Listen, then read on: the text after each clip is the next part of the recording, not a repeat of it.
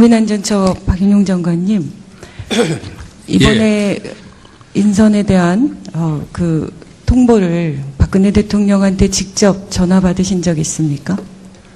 없었습니다. 그럼 어떻게 받았나요? 문자 해고 통보 받으신 거예요? 아까 답변 드렸다시피 인사 송 저 전화로 통보 받았습니다. 저는 이게 박근혜 정권의 문제라고 생각합니다. 사람의 상처를 보듬어 줄 줄 모르는 거죠. 지금 이 사태, 내각도 책임이 크지만 그거는 국민의 관점에서 그런 거고 이 모든 문제를 근원 야기한 분이 바로 박근혜 대통령입니다. 그 대통령이 미안하다고 하면서 어쩔 수 없다 이렇게라도 얘기해야 되는 거죠. 그렇지 않습니까? 본인의 실수로 지금 이런 사단들이 났는데 그저 인사 담당 전화 하나로 통보한다고요? 그리고 말이 되지 않지 않습니까? 국민안전처, 국민안전이라는 게 4년 내내 그렇게 많은 문제를 일으켰는데 이제 2년 돼서 뭔가 조금 정착되보나 했더니 국민 안전과 관련된 사람도 아닌 비전문가를 단지 본인들이 원하는 총리 내정자가 원한다는 이유로 이런 식으로 인사 처리합니까?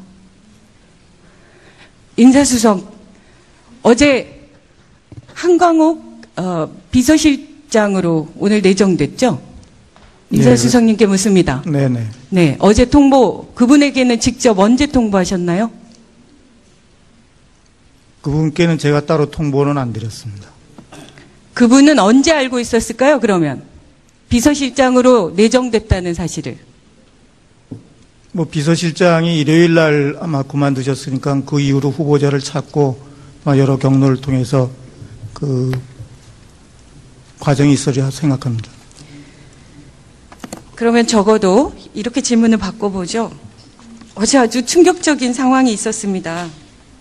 온 국민이 박정희 대통령, 우리나라의 역사적 의미가 있고 많은 분들이 존경한다고 하시는 박정희 대통령의 따님이라는 이유로 어떻게 보면 박근혜 대통령을 찍었던 분들, 박근혜 대통령을 신뢰했던 분들이 많았을 겁니다. 그런데 지금 지지율이 9.2%까지도 내려가 있는 이 상황에 어제 광화문에 박정희 대통령의 동상을 세워야 한다고 주장하는 기념회가 있었습니다. 그 자리에 한광옥 전 비서실장 아니죠 비서실장 내정자가 어, 참석했습니다. 맞죠, 인사수석님? 어, 그 사실은 제가 정확한 내용 모르겠습니다. 기사에 나와 있습니다. 그러면 비서실장 내정을 이미 받은 상태로 그 자리에 가 있었다고 하면 광화문 광장에 박정희 대통령의 동상을 세우겠다는 게 박근혜 대통령의 생각이라고 볼 수도 있는 거 아닌가요? 글쎄 제가 정확한 내용을 모르기 때문에 지금 뭐라 답변 드릴 수는 없을 것 같습니다.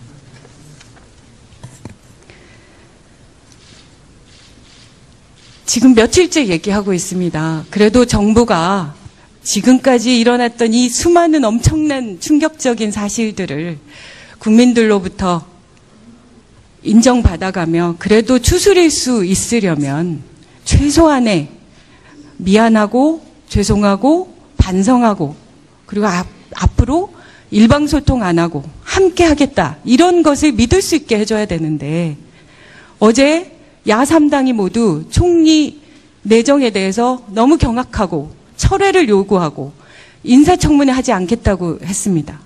그런데 오늘 버젓이 비서실장 임명하십니다. 인사수석님, 여당에게는 언제 통보하셨나요? 그 부분은 제가 직접 안 했기 때문에 정확한 그것도 모르십니까? 그러면 상의도 안 하십니까? 아니 상의는 했을 겁니다. 그러니까요. 수석님이 알고 계시기는 언제쯤 통보했을까요? 직접 안 하셨어도. 제가 인사수석으로서 하는 일이 아니기 때문에 제가 정확한 내용을 모르는 상태에서 말씀드릴 수 없다는 뜻입니다. 그럼 오늘 왜 나오십니까? 많은 분들이 궁금해 할 것들은 확인하고 나오셨어야죠. 그 정도는 누구든 물어볼 수 있는 얘기지 않습니까? 국민들이면 다 궁금하지 않겠습니까? 어제 아. 그 사단이 났으니까요. 그럼 다시 묻겠습니다. 언제 확인해서 알려주시겠습니까? 그럼 여당에 통보하지 않았습니까? 통보hen, 통보는 했을 겁니다. 통상적인 절차에 따라서 했을 거고요. 아마 공식적인 발표 나기 전에 한 걸로 그 예상이 됩니다. 제가 한번 정확한 내용을 확인해서 알려드리겠습니다.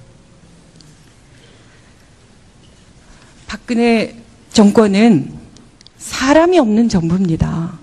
사람 대우를 어떻게 이런 식으로 하십니까? 매번.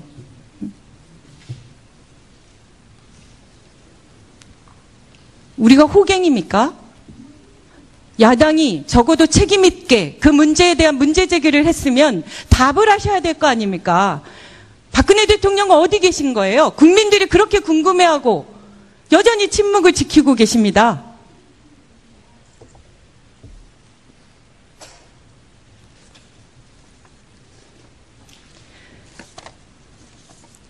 제가 교육부에 또 홈페이지를 들어가 봤습니다.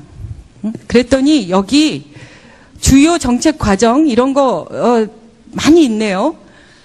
행복 교육을 위한 비정상의 정상화, 고른 교육 기회 보장, 미래 사회를 대비하는 대학 체계 혁신, 안전하고 신뢰받는 교육 환경 조성. 교육부 장관님, 이거 진- 아주 잘 추진되고 계십니까? 예, 에, 6대 교육계획 과제에 포함되는 내용이기 때문에 예, 차질 없이 추진하고 있습니다. 어떻게 그렇게 당당하게 얘기하십니까? 우리 요즘 돌아가는 보도자료, 언론 보도들 내용 보고 계실 텐데요. 이 박근혜 정권 내내 고른 교육 기회가 있었나요? 물론 예, 고른 교육 기회가 아니라 최고의 기회는 최순실의 자녀에게만 있었고요. 효도는 대통령의 아버지, 부모님에게만 있는 정권입니다. 오늘 저는 너무 충격입니다. 제가 지난 시간을 돌아보면요. 안전행정위원회에서 주소를 옮기는 이 부분들에 관련해서 자식 교육 때문이라고 얘기합니다. 그러면 다른 자식은 중요하지 않습니까? 본인의 자식만 중요한 겁니까? 이게 똑같습니다. 최순실은 본인의 자식만 중요했고 박근혜 대통령은 본인의 아버지만 중요했습니다. 그렇지 않습니다. 보편적인 교육에 있어서 교육부에서는 그 어, 소외 계층 학생들에 대한 교육의 기회 균등을 위해서 어, 무엇보다도 어, 노력을 하고 있다는 말씀을 어, 드립니다. 최순실의 딸 정유라에 대해서 각종 특혜 의혹이 진행되고 있는데 그거 종합해서 보셨습니까? 안 보셨죠? 예, 그 정유라라는 아이는 경북 초등학교 때 초등학교 때부터 단독 출전해서 금메달을 수상하게 하고요. 1등으로 한 명이 한 명이 했으니까 당연히 1등이겠죠. 근데 그런 수상 실, 실적이 전부 본인에게 다 돌아갑니다. 중학교 3학년 때 수업 205일 중에 86일만 출석합니다. 청담고 반칙 입학합니다. 당시 교육부에서는 출전 횟수를 제한했습니다. 그래도 고르게 기회를 주려고. 그리고 체육교육 전공하는 학생이라도 학습권을 보장하기 위해서. 그런데 이 정유라는 아홉 번이나 나갑니다. 다섯 번밖에 못 나가게 되는 걸 아홉 번을 나가서 그 중에 자기 맘대로 제일 좋은 성적만 추려서 청담고에 제출합니다. 그래서 청담고에 입학합니다. 그리고 공로상까지 받습니다. 고등학교 출석 일수 지금 나옵니다. 3학년 수업 일수 193일 중에는 50일이고요. 고2 때는 195일 중에 149일. 무단결석 수도 없습니다. 그런데 이거 다 출석 처리합니다. 이게 공정한 기회인 거죠? 정유라 이화여대 특혜 의혹 지금 나오고 있지 않습니까? 들어갈 때 체육특기자 입학 종목 23개로 확대돼서 이 과정에서 승마가 포함돼서 누구나 아이들을 보내고 싶어 할 이화여대 자격 획득합니다. 반칙 학점 부여하죠. 출석 보고서 없이 이수하게 하고 패션쇼 무대 서지 않는데도 학점 주고 그리고 더 충격인 거죠. 승마 선수면 누구나 정말 최고의 말을 갖고 싶죠. 그런데 지금 나오고 있습니다. 35억이나 들여서 최고의 말과 최고의 환경을 정유라에게 제공합니다. 이것이 우리나라 교육의 현실입니다. 지금. 지금- 그리고 예. 새마을 사업 박정희 대통령 저는 국정교과서가 박근혜 대통령이 100주년 아버지께 바치는 명예회복이라고 생각했습니다. 그리고 그렇게 주장했죠. 지금 사실로 드러나고 있는 것 같습니다. 그렇지 않습니다. 교과서는 지금 뭐- 예. 박근혜 대통령 취임하고 나서요. 새마을 박정희 기념 대통령 기념 사업에 무려 저희가 2009년부터 2017년까지 확인해 보니까요. 4,500억 원이 들어갔습니다. 지금 4년간 투입된 예산만 해도 2,600억입니다. 누구나 자기의 아버지, 자신의 자녀 소중합니다. 그런데 대통령의 아버지라는 이유만으로 이 수천억의 돈이 어떤 아이들은 생리대가 없어서 신발 깔창으로 하고 있는 이 현황에 4년 내내 수천억을 들이고 있고 어제 광화문 광장에 동상을 세우겠다고 하는 게 이 나라의 현실입니다.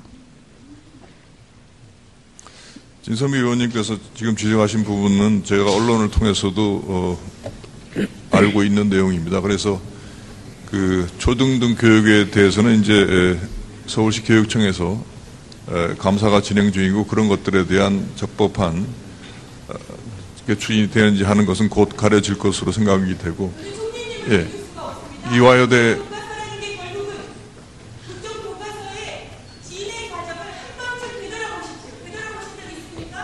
예, 교과서는 역사 교과서는 누구 어떤 특정한 대통령을 위한 교과서가 아닙니다. 그리고 하고 있지 않습니까? 수많은 학생들이 반대하지 않습니까? 지금 이 상황에서 수많은 아이들의 상상력, 창의력이 중요하고 그 창의력을 위해서는 다양한 모든 대부분의 선진 국가에서는 거민 교과서, 자유 교과서로 추진되고 있는 과정에서 우리나라만 퇴보하고 있는 것을 버젓이 알고 있으면서 여전히 그것을 주장하고 있는 교육부총리의 교육정책 못 믿겠습니다. 그렇지 않습니다. 교육사 교과서는 그동안에 논란이 되어 왔던 그런 어, 그 내용들에 대해서 어, 국민적인 어떤 그 어, 통합을 이루기 위한 목적이 있는 것이지 새로운 어떤 분열을 야기하려는 것이 절대 아니라는 말씀을 어, 드리겠습니다. 아직 1년 내내 얼마나 되고 있습니까? 그동안에 자, 정리해 주십시오. 예.